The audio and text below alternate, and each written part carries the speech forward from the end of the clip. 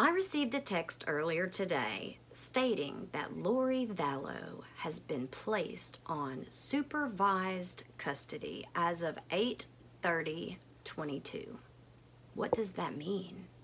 Well, I didn't know what that meant, so I called the number provided in the Vine text and was told there has been no change in Lori Vallow's status. Hmm. Why did we all get a text about it?